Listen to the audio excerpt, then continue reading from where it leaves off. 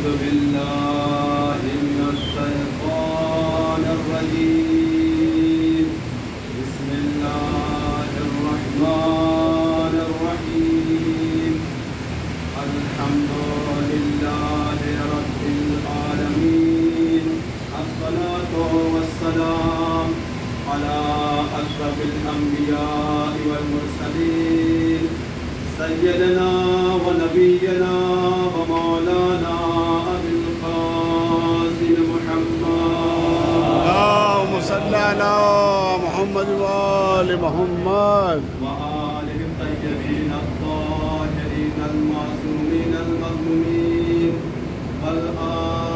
للمتقين والجنة للموحدين والنار للملحدين ولعنة الله على أعدائهم أجمعين من يومنا هذا إلى قيام يوم الدين. أما بعد فقال الله تعالى في القرآن المجيد وهو أصدق القائلين الله الرحمن الرحيم. إذا الشمس كورت وإذا النجوم انكدرت وإذا الجبال سيرت وإذا العشار أبطلت وإذا الوحوش حشرت وإذا ال- وإذا النفوس زوجت وإذا الموءودة سئلت بأي ذنب قتلت. صلوات على محمد. وآل مولا حسین کے ماتم دارو، مولا حسین کے سوگوارو۔ کل کی مجلس میں میں نے آپ کے سامنے سورہ تکبیر کی ابتدائی آیتوں کو سرنامہ سخن قرار دیا تھا۔ آج بھی میں نے سورہ تکبیر کی آیتوں کو آپ کے سامنے تلاوت کرنے کا شرف حاصل کیا ہے۔ سورہ تکبیر مکی سورہ ہے۔ نزول کے اعتبار ہونے کے نزول کے اعتبار سے ساتویں نمبر پر اور قرآن میں ترتیب کے لحاظ سے اکیاسویں نمبر پر واقع ہے۔ اور یہ سورہ آخری پارے میں موجود ہے۔ اس میں کل انتیس آیتیں موجود ہیں۔ اس سورے کے اندر دنیا کے اختتام، قیامت کی ابتدا کے ہولناک حوادث کے بارے میں بحث کی گئی ہے اور قرآن مجید کی عظمت اور فضیلت کے بارے میں بحث کی گئی ہے۔ میں نے ایک مرحلہ کل آپ کے سامنے پیش کیا تھا۔ اپنی بات کو آگے بڑھانے کے لیے میں ان تمام آیتوں کا ترجمہ کرنا چاہتا ہوں تاکہ جو آئندہ آنے والے بیانات ہیں، آپ بخوبی سمجھ سکیں۔ اذا شمس و کوورت جب سورج کو لپیٹ دیا جائے گا، وَإِذَا النُّجُومُ انْكَدَرَتْ ستارے بے نور ہو جائیں گے۔ وَإِذَا الْجِبَالُ سُيِّرَتْ، اور پہاڑ چلنے لگیں گے۔ قیامت کا پہلا مرحلہ ہے، پہلا مرحلہ۔ وہ تو چاہتا ہوں جاننے گرامی وَإِذَا الْوَحُوشُ حُشِرَتْ، اور وحوش ایک جگہ پر جمع کر دیے جائیں گے۔ اس کے بعد، وَإِذَا الْإِشَارُ أُبْتِلَتْ اور قیمتی مال کو فراموش کر دیا جائے گا۔ وَإِذَا النُّفُوسُ زُوِّجَتْ، اور ہر ایک شخص اپنے جیسے کے قرین کے ساتھ قرار دیا جائے گا۔ وَإِذَا الْمَوْعُودَةُ سُئِلَتْ۔ اور جب زندہ درگور لڑکیوں سے سوال کیا جائے گا، بِأَيِّ ذَنْبٍ قُتِلَتْ؟ کہ ان کو کس گناہ کی پاداش میں قتل کیا گیا ہے۔ اب عزیزان گرامی اس سورے کے اندر جو سب سے زیادہ مشہور آیتیں ہیں، یہ دو آیتیں زیادہ مشہور ہیں۔ پہلی آیت کون سی ہے؟ کہ جب زندہ درگور لڑکیوں سے پوچھا جائے گا، سوال کیا جائے گا، دوسری آیت، بے ائے زمبن کو دلت، کہ ان کو کس گناہ کی پاداش میں قتل کر دیا گیا۔ عزیزان گرامی، یہ قیامت کا پہلا مرحلہ میں نے آپ کے سامنے پیش کیا ہے۔ دنیا کی ویرانی کا یہ سب کچھ ہو جانے کے بعد اب میں آپ کو دوسرے مرحلے میں داخل کرنا چاہتا ہوں۔ اس لیے کہ پہلا مرحلہ میں نے آپ کے سامنے کل پیش کیا تھا۔ میں اس موضوع کو آپ کے سامنے نہیں چھیڑنا چاہتا۔ اب آگے کیا ارشاد ہوتا ہے؟ جب یہ دنیا ویران ہو جائے گی، تب کیا ہوگا؟ تو میں اپنی طرف سے نہیں کہہ رہا ہوں۔ قرآن مجید آگے کی آیت پڑھتا ہوں۔ بے آئیے زمین کو دلت اس کے بعد، وَإِذَا الصُّحُفُ نُشِرَتْ۔ اور نام اعمال کھول دیے جائیں گے۔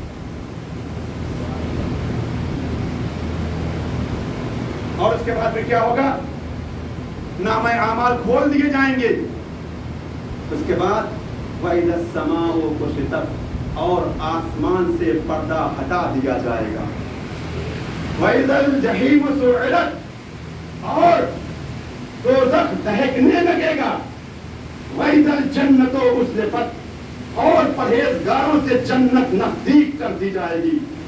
وَعَلِمَتْ نَفْسٌ مَا عَذْرَتْ اس دن ہر انسان دیکھ لے گا، اس نے جو کچھ انجام دیا ہے۔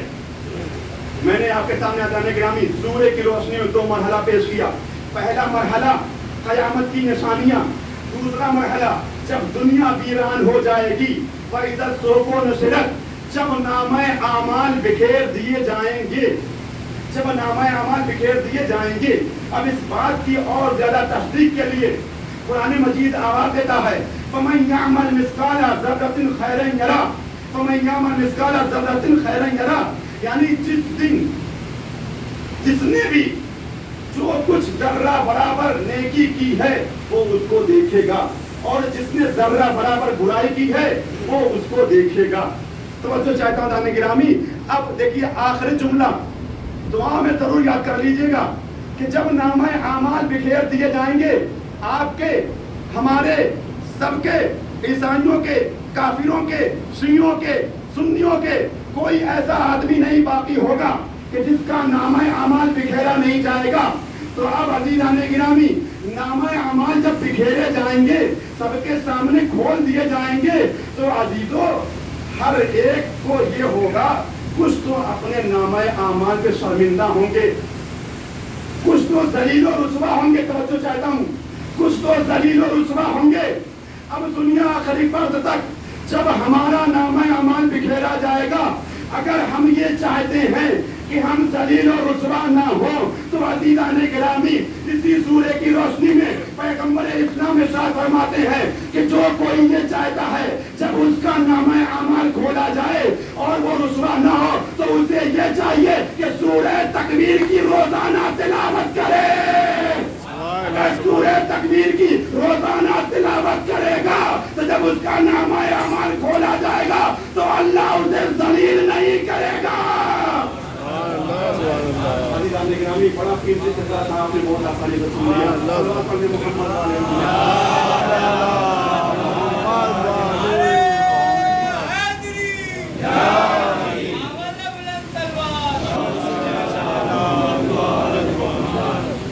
وَإِذَا السَّمَاءُ كُشِطَتْ آسمان سے پردہ ہٹا دیا جائے گا۔ یہ آسمان سے پردہ ہٹا دیا جائے گا، اس کا کیا مطلب ہے؟ اس کا مطلب یہ ہے کہ عالم مادہ اور عالم بالا جو چیز حائل ہو رہی ہے یعنی ہم لوگ فرشتوں کو نہیں دیکھ سکتے ابھی، دوزخ کو نہیں دیکھ سکتے، جنت کو نہیں دیکھ سکتے، لیکن ایک وقت تو ایسا آئے گا کہ اللہ آواز دیتا ہے کہ آسمان سے پردے ہٹا دیے جائیں گے۔ یعنی انسان عالم ہستی کو بالکل حقیقتوں کی نظر سے دیکھے گا۔ بس مجھے اسی بات کا فخر یہ آیت پڑھی تو عزیزان گرامی مجھے یاد آئے مولا کائنات، ہمارے اور مولا علی میں یہی فرق ہے۔ ہم پتہ نہیں کب دیکھیں گے، مگر علی اس صاحب جو یہ کہتا ہوا نظر آتا ہے۔ میں آسمانوں کے راستے، زمین کے راستوں سے زیادہ جانتا ہوں۔ یہ اس کی مکمل تفصیل ہے۔ علی کے سامنے کوئی پردہ نہیں ہے۔ اللہ نے علی کے سامنے سے پردے ہٹا دیے۔ وہ اگر اشارہ کر دیں تو آسمان میں در پیدا ہو جائے۔ میں مثال پیش کرتا ہوں ازان گرامی، یہ تو مولا کائنات علیہ السلام کے بارے میں میں نے کہا، آئیے کربلا کے میدان میں دیکھیے۔ بلال امام حسین علیہ السلام کے پیچھے پیچھے چلنے لگے۔ تو مقتل میں جب پہنچے تو ایک مرتبہ امام حسین علیہ السلام نے کیا کیا؟ امام حسین علیہ السلام نے کیا کیا؟ کہا، اے ہلال میری دو انگلیوں کے درمیان دیکھو۔ دیکھیے، توجہ چاہتا ہوں، قرآن مجید کی روشنی میں بات کو واضح کر رہا ہوں۔ اے ہلال، میری دو انگلیوں کے درمیان میں دیکھو۔ اب جو جناب ہلال نے مولا حسین کی دو انگلیوں کے درمیان دیکھا تو ایک مرتبہ امام حسین علیہ السلام کہتے ہیں، پہچانو، یہ جنت کی جگہ یہ تمہاری ہے، یہ حبیب ابن مظاہر کی ہے۔ یعنی عزیزان گرامی، کربلا کے میدان میں امام حسین علیہ السلام نے بتایا کہ دیکھو، آسمان کے پردے جس کے سامنے نہ ہو اسے حسین کہتے ہیں۔ اور جس کے سامنے آسمان کے پردے ہو اسے بندہ کہتے ہیں۔ صلوات پڑھ محمد وعلی وَإِذَا السَّمَاءُ انْكُشِطَتْ وَإِذَا الْجَحِيمُ سُعِّرَتْ اور دوزخ دہک جائے گا۔ جہنم کے شعلے پھول پڑیں گے۔ یہ جہنم کن کے لیے ہے؟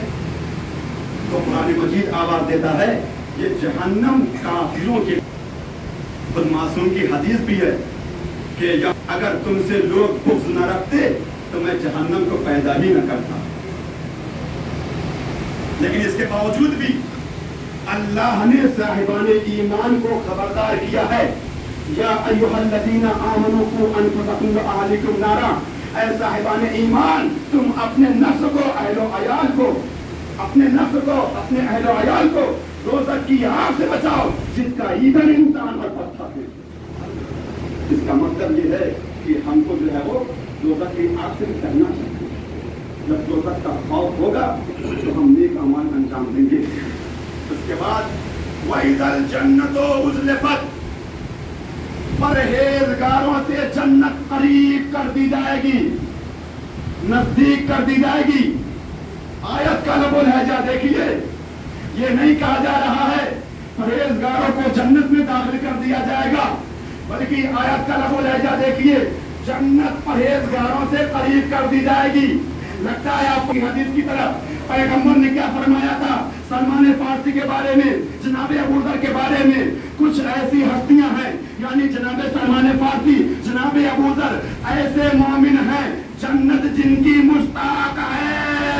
وَإِذَا الْجَنَّةُ أُزْلِفَتْ یعنی ایسے مومنین کے لیے جنت قریب کر دی جائے گی یہ آیت کی روشنی میں میں نے آپ کے سامنے دلیلوں کے ساتھ واضح کرنے کی کوشش کی ہے کیونکہ وقت میں مختصر ہوتا ہے، لہٰذا بس میں اضافی جملے بھی نہیں بول رہا ہوں۔ بس وہ وہاں تک پہنچ جائے اور آپ سمجھ لیں، بس وہ باتیں پرانے مجید کی روشنی میں بیان کر رہا ہوں۔ وہ علمت تم ماں اور کچھ دن انسان جو کچھ اس نے اعمال انجام دیے ہیں، وہ اس کے سامنے ہوں گے۔ کس کو پریشان کیا ہے؟ کس کی مدد کی ہے؟ فرش ادا پہ کتنی دیر کے لیے بیٹھے، کتنی مجلسیں کی، وہاں پہ آپ کو پتہ چل جائے گا اپنی پوری زندگی میں کہ ہم نے کتنی مجلسیں شرکت کی، کتنے نوحے پڑھے، کتنے مرضیے پڑھے، کتنی مجلسیں پڑھی، کس غریب کی مدد کی، کتنی نمازیں پڑھی سب پوری ڈیٹیلس وہاں پہ آپ کے سامنے آ جائے گی۔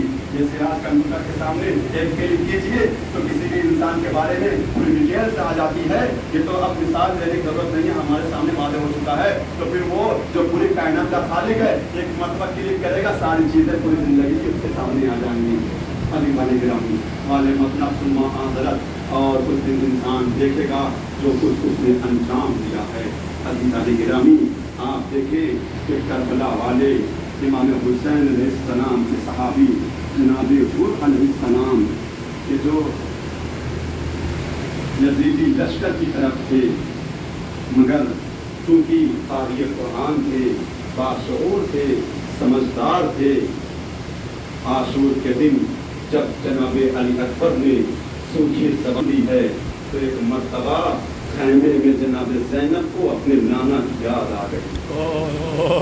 اپنی گئی اور پھر بھی طرف پہ کہنے لگا، واہ محمدہ واہ حضرادارو جناب حر اپنے لشکر کو لے کے چلا۔ بہت تیز اپنے گھوڑوں کو دوڑاتا ہوا۔ اور امام حسین علیہ السلام بھی ابھی کربلا نہیں پہنچے ہوئے ہیں۔ کربلا پہنچنے سے پہلے ایک مقام پر گھڑ اور اس کے سپاہیوں نے مولا حسین کو گھیر دیا دیکھیں مسائل بھیڑ سے شروع ہو جائیں گے۔ آپ نے سبھی سے سنے ہوں گے مسائل، لیکن ذرا یہاں سے غور فرمائیے گا۔ کیونکہ امام حسین علیہ السلام نے دیکھا، گھوڑے دوڑتے ہوئے آئے ہیں۔ ظاہر ہے جب گھوڑے دوڑتے ہوئے آئیں گے تو پیاسے ہوں جناب غر نے سلام کیا، سلام وہاں پر۔ اس سے پہلے کہ گفتگو ہوتی، امام حسین علیہ السلام نے کہا غر لگتا ہے تم بہت پیاسے دیکھ رہے ہیں، امام حسین علیہ السلام کا جملہ حوصل کا جملہ۔ اس سے پہلے گفتگو کرتے، امام کہتے ہیں بول مجھے لگتا ہے تم پیاسے ہو۔ اب صرف تم نہیں پیاسے لگ رہے ہو، تمہارے گھوڑے پیاسے ہیں۔ تمہارے گھوڑوں کی زبانیں نکل رہی ہیں وہ پیاسے تڑپ رہے ہیں۔ لیکن اس مقام پر ملنے سے پہلے امام حسین علیہ السلام نے ایک اور مقام پر اپنے ساتھیوں سے یہ کہہ دیا تھا کہ مشکیزے کو خوب بھر لو، پانی بھر لو۔ ہاں ازادارو اور جب یہاں پہ غر سے ملاقات ہوئی تو ایک مرتبہ امام حسین علیہ السلام نے غر کو پانی پلایا اور غر کے سپاہیوں کو پانی پلایا۔ اور صرف سپاہیوں کو نہیں، بلکہ بے زبان جانوروں کو بھی پانی پلایا۔ ازاداروں تصور شخص ہے، گھوڑوں کو پانی پلایا۔ غر کے سپاہیوں میں سے ایک سپاہی یہ کہتا ہے، میں اتنا مجبور تھا کہ مشکیزہ اٹھا کر پانی نہیں پی سکتا تھا تو حسین علیہ السلام کے سپاہی آگے بڑھے مشکیزے کے دہانے کو اس سپاہی کے منہ تک لے کر جانا چاہتے ہیں۔ مگر اتنا ضعیف ہو چکا ہے پیاسا ہے تڑپ رہا ہے پانی نہیں پی سکتا۔ وہی سپاہی بیان کرتا ہے کہ میں نے دیکھا ایک کرسی پر کوئی بزرگوار بیٹھے ہوئے ہیں۔ اور مجھے دیکھ رہے تھے۔ وہ اپنی جگہ سے کھڑے ہوئے میرے پاس آئے۔ مشکیزے کو سنبھالا اور مشکیزے کے ذریعے مجھے پانی پلایا۔ جب پانی پلا چکے تو میں نے پوچھا، سپاہیوں، آخر یہ کون بزرگوار ہے؟ تو پھر سپاہیوں نے کہا تم کو نہیں معلوم، یہی تو حسین ابن علی ہے۔ یہی تو حسین ابن علی ہے، یہی تو نواز رسول ہے، یہی تو علی کا لال ہے، یہی تو فاطمہ کا لفت جگر ہے۔ ازادارو بس یہی کہنے کا دل چاہتا ہے۔ وہ حسین کہ جس کو یہ برداشت نہیں کہ بے زبان جانور پیاسے رہ جائیں۔ جانوروں کو سیراب کر دیا۔ ہائے کربلا کے میدان میں اس حسین کے بچوں نے سات محرم سے اڑتا بھوکے پیاسے رہے کیسے حسین نے برداشت کیا ہوگا؟ اللہ کا بلند ہے اللہ ان نمازوں پر رحمت والے فرمائے اے کوثر کا لال کتنا مظلوم ہے، کتنا بے کس ہے معشور کا دن آیا اپنے ہاتھوں پہ علی اصغر مقتل کی طرف آئے۔ اور یہ کہتے ہیں، اگر میں تمہارا ہوں تو میرے بچے کی کیا خطا ہے؟ ایک قطرہ اسے پانی پلا دو۔ آدھا نے کہا، اے حسین، اگر دنیا پانی پانی ہو جائے گی تب بھی آپ کے لال کو ایک قطرہ پانی نہیں ملے گا۔ ازادارو امام نے۔ ہم کو مقام یاد کرتے ہیں، کہتے ہیں میرے چاہنے والوں کاش کربلا کے میدان میں ہوتے۔ ارے، تم اپنی آنکھوں سے دیکھتے کہ ساتھی کوثر کا لال کس طریقے سے اپنے ہاتھوں کو اٹھا کر ایک قطرہ پانی کا مطالبہ کر رہا تھا، مگر ظالموں نے پانی نہیں دیا۔ علی اصغر کو تین دن کا بھوکا پیاسا لم يقل تسليما لأمره إلهي بحق المحمد وآل محمد، اے پانے والے خدا پروردگار ہمارے اس قلیل فرمان اے پروردگار اپنے بیت السلام کے پہل میں جو مومن پریشان خان کی پریشانی کو دور فرما اور بانیان مجالس کی روٹی میں گھر برکت نازل فرما اور خدا ہم کو اسی طرح توفیق دیتا رہے کہ ماہ محرم میں فرش ادا پر بیٹھنے کا شرف حاصل ہوتا رہے۔ اور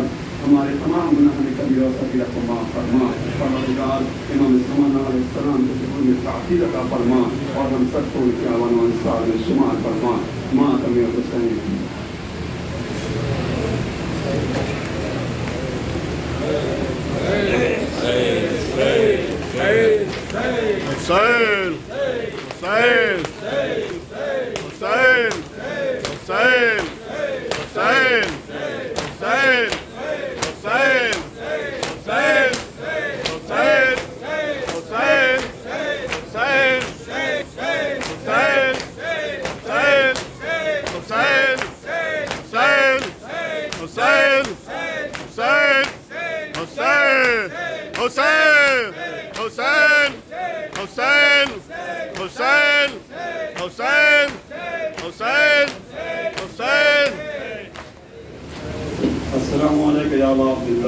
السلام علیکم یا رسول اللہ السلام علیکم وعلى جدك وعليك السلام عليكم وعلى أمك وأخيك. السلام عليكم ورحمة الله وبركاته. السلام عليكم مولانا يا غريب الغرباء السلام عليك يا معين الضعفاء والفقراء. السلام عليك يا شمس الشموس. السلام عليك يا أنيس النفوس. السلام عليك يا سلطان. السلام عليك يا أبا الحسن. علي بن موسى رضا ورحمة الله وبركاته.